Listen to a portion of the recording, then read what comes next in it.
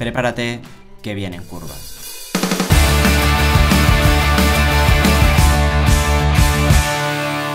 Te voy a dar unas cuantas razones por las que no deberías utilizar ni Elementor, ni Divi, ni Visual Composer, ni ningún constructor que no sea Gutenberg para proyectos sencillos o webs que no requieran de muchas funcionalidades extra. Seguramente tú uses Elementor y si me equivoco, déjalo en los comentarios.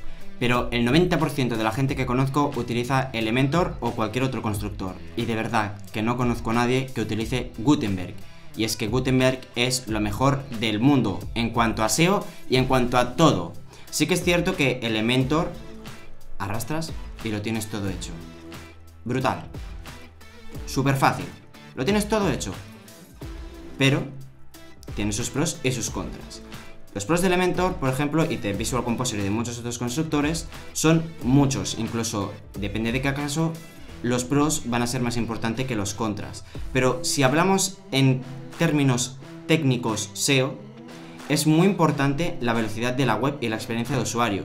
Y esto con Elementor y otros constructores va a ser un poquito más complicado. No obstante, si hablamos más en cuanto a diseño, siempre vas a conseguir más con Elementor o otros constructores porque tiene muchas más opciones, tiene contenido dinámico, tiene muchas, muchas cosas que Gutenberg pues no tiene y ojalá en un futuro las pueda tener, pero hoy por hoy no las tiene.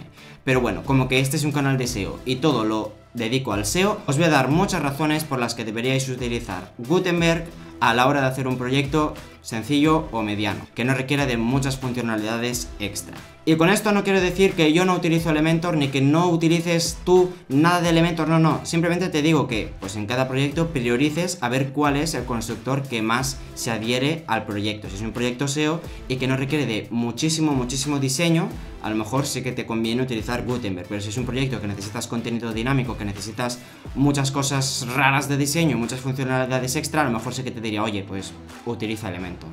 La razón número uno para utilizar Gutenberg es que es del propio WordPress. Es que no es un plugin extra, es que es del propio WordPress. Lo han desarrollado las mismas personas, por lo tanto las compatibilidades son estupendas. Tengo que decir que cuando se lanzó Gutenberg no tiene nada que ver con lo que es ahora. Cuando se lanzó Gutenberg yo lo odiaba.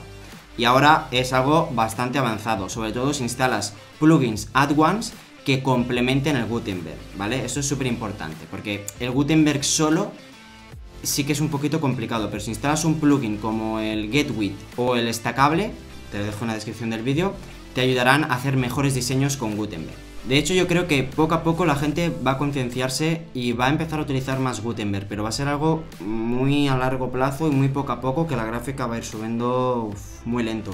Pero yo creo que cada vez la gente mm, va a utilizar más Gutenberg. Otra razón por la que utilizo Gutenberg y no utilizo Elementor es porque me hace especial porque puedo venderme como que yo utilizo esto y nadie más lo utiliza. No que no sepan utilizarlo, sino que a ti te van a hacer cualquier empresa una web en Elementor y yo tengo el punto añadido que te la puedo hacer o en Elementor o en Gutenberg. Así que el no ya lo tienes, tú puedes proponer al cliente de hacerla en Gutenberg. En mi caso, la mayoría de clientes me lo aceptan porque dicen, oye, si, va a ser la misma web con Elementor y en Gutenberg, pero en Gutenberg va a ir mucho más rápida y mucho más fluida, coño, pues hazla en Gutenberg. Y es que Elementor, por ejemplo, eh, o, Divi o Visual Composer cargan muchas librerías de código innecesarias. Por eso, conseguir una buena puntuación de velocidad en PageSpeed para webs que están hechas en Elementor y tal, es muy complicada. Sin embargo, el Gutenberg no es que solo cargue lo que necesite, pero está mega optimizado, porque como digo, es del propio WordPress y no te carga tantas librerías. Por ejemplo, si tú el mismo diseño lo haces en Gutenberg y lo haces en Elementor, todo igual, el de Gutenberg te va a dar un 98% de velocidad en móvil si la tienes bien optimizada en PageSpeed y el de Elementor te va a dar un 20 o un 30%. Pero no solo te fijes en, lo que te dice PageSpeed, fíjate, cuando cargues las dos webs, cargará mucho antes la de Gutenberg que la de Elementor, porque la de Elementor todavía estará cargando librerías, bla, bla, bla, bla. Y lo que me gusta mucho de Gutenberg es que antes era un poquito complicado de utilizarlo y yo ya aprendí cuando era complicado. Pero es que ahora la experiencia de usuario de Gutenberg es brutal. Es que es súper fácil utilizar Gutenberg. Es que te diría que para mí utilizar Gutenberg es más fácil que utilizar Elementor. Y mira que Elementor es para tontos. Pues sí, me gusta más Gutenberg a nivel de diseño y a nivel de SEO.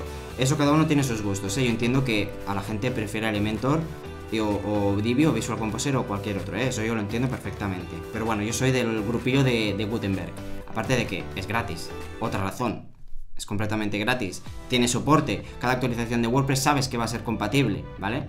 Y es seguro, porque, como digo, es del propio WordPress. Por lo tanto, la seguridad aquí es al 100%. Bueno, al 99,9 periódico por ciento, que nada es seguro al 100%. Y hablando un poco de diseño, que es lo que he dicho antes, eh, sí que Elementor tiene muchas más opciones y en Gutenberg hay que tocar más CSS. Pero es que lo puedes hacer todo. Con Gutenberg lo puedes hacer absolutamente todo. Todo. Al menos el 90% de las cosas que se pueden hacer en Elementor. Cosas un poquito más a lo mejor sí que te cuesta más hacerlo y tienes que hacerlo HTML, metes un bloque de HTML en el Gutenberg y lo haces HTML, ¿vale? Pero bueno, aquí sí que para, para hacer diseños un poco más complejos sí que tendrías que saber un poco de maquetación, HTML y CSS. En Elementor no es necesario tocar tanto CSS porque en las propias opciones de Elementor te dice todo como lo quieres, de qué color lo quieres, con qué borde radio lo quiere, todo. Que en Gutenberg también, pero no tiene tantas opciones como Elementor. Eso hay que decirlo. Y también pues hay que comentar que, igual que digo que a nivel de diseño puedes hacerlo casi todo, a nivel de funcionalidades extra está mucho más limitado. Por ejemplo, el CrocoBlock no es compatible, el ACF, ACF tampoco es compatible, ¿vale? Los contenidos dinámicos no son compatibles con Gutenberg, pero yo creo que esto poco a poco se va a ir mejorando. Así que ese es un punto extra que tiene Elementor respecto a, a Gutenberg. De hecho, creo que, si no me equivoco, Visual Composer y Divi tampoco son compatibles con contenidos dinámicos o al menos con el CrocoBlock. Pero eso no te lo puedo asegurar al 100% porque normalmente no trabajo con Divi ni Visual Composer.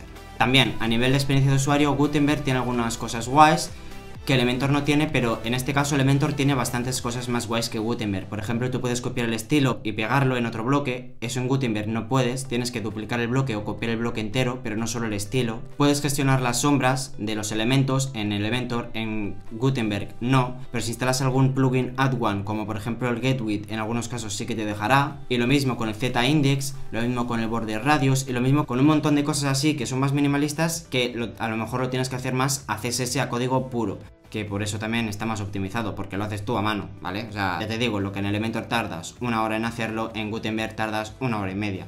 Pero vale la pena, y te lo aseguro, te lo aseguro. Y no quiero haters de que el Asier odia a Elementor, el Asier odia a Divi, no. Este vídeo está dedicado a Gutenberg y haré otro vídeo dedicado a Elementor.